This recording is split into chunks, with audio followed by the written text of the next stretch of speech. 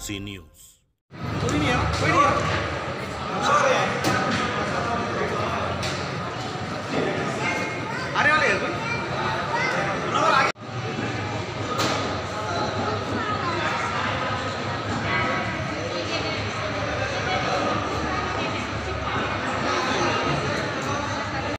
आज Telangana Muslim minority welfare association की तरफ़ से आमने सामने प्रोग्राम गांधीनगर में रॉयल फ़ंक्शन हॉल में हुआ। जिसमें डेढ़ सौ से ज़ायद लोग यहाँ पे रजिस्ट्रेशन कराए। और यहाँ पे जो फैमिलीज़ है वो वो सिटी के हर कोने से लोग आए यहाँ पे अलहमदिल्ला और 15 से 20 लोग जो है यहाँ पे अब तक सेटलमेंट होने के पोजीशन पे है। और हमारा ये जो प्रोग्राम चला रहे हैं तीन साल से, अल्हम्दुलिल्लाह, चार हज़ार से ज़्यादा जो है हमारे पास प्रोफाइल्स हैं।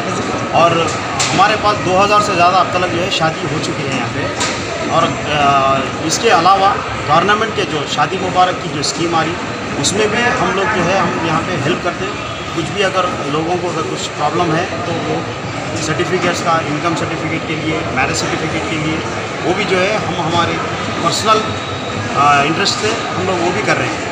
अलहमदिल्ला बहुत सारे लोगों को इससे फ़ायदा भी हुआ। आज कितने से ज़्यादा पब्लिक आई? कितने रजिस्ट्रेशन हुए आज?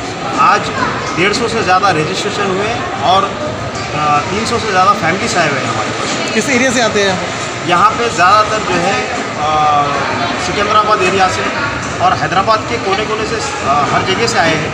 यहाँ पे अभी फ़िलहाल तो ये जो है अपन यहाँ पे गांधीनगर में करें एडिपियल गांधीनगर बालनगर में करें ये प्रोग्राम मगर यहाँ पे मेहदीपट्टनम टोली चौकी पुराने शहर मोगलपुरे से भी आए हुए हैं। अलहमदिल्ला चलो।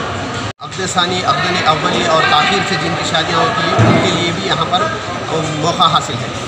और वो ऐसे वालदे जो अपने बच्चों की काफ़ी उम्र होने की वजह से परेशान हैं उनके लिए भी सहूलत पहुँचाने की हम कोशिश कर रहे हैं। राइट रिश्तों के लिए आमने सामने प्रोग्राम सौ एक प्रोग्राम था आज, जो रॉयल फ़ंक्शन हॉल में मुनद किया गया, जिसमें काफ़ी लोगों ने रजिस्ट्रेशन करवाया 150 से ज़्यादा लोगों ने रजिस्ट्रेशन करवाया, जिसमें दूसरी शादी के करीब 50 से ज़्यादा लोगों ने रजिस्ट्रेशन करवाकर इसमें ज़्यादा से ज़्यादा फ़ायदा हासिल करने की कोशिश की।